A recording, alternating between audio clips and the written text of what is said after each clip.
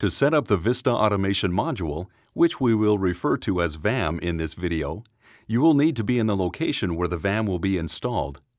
This will be a two-step process. In step 1, you will connect the iPad to the VAM to configure it. In step 2, you will connect the VAM to the router. The 4-wire ECP should already be run from the Vista panel to this location. You also need a tablet device, such as an iPad, and access to a Wi-Fi router. Before you install the VAM, write down the unit's SSID, WPS key, and the default IP address listed on the back of the unit. Locate the user's Wi-Fi router and write down the router's SSID and password key.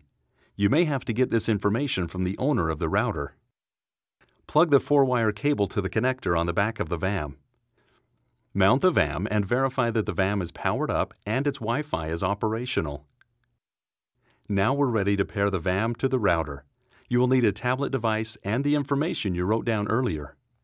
From the tablet device, select Settings, then select Wi-Fi and look for the VAM network, which will start with the letters VAM. The last four digits will be different for each unit. You will need to enter a password. Use the password key listed on the back of the VAM device that you wrote down earlier. Enter the password and click Join. Navigate to the tablet's home screen, then select the tablet's web browser. Enter the VAM's default IP address that you noted earlier, then select Go. You should now see the Automation Controller home screen. Select the Set Home Router icon. You will see the setup screen. Enter the router's SSID you noted earlier, then enter and confirm your password key.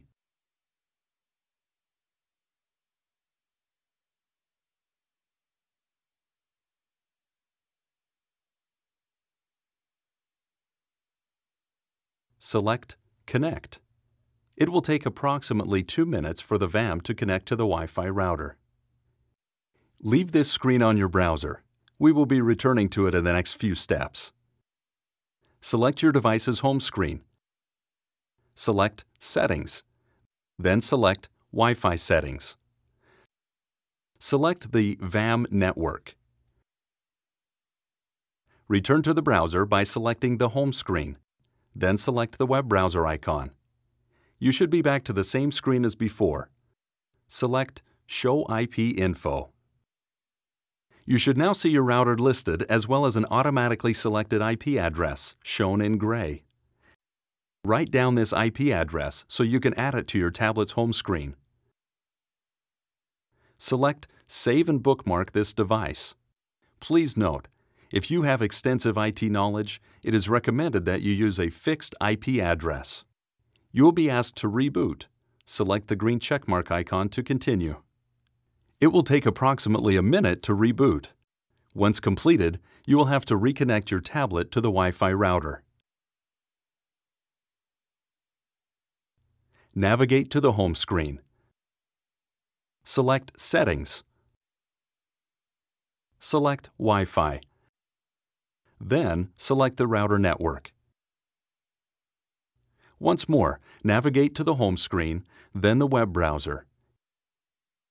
Enter the IP address you noted earlier and add a shortcut to your home screen. Now you can select this shortcut to control your VAM automation controller from anywhere in the home.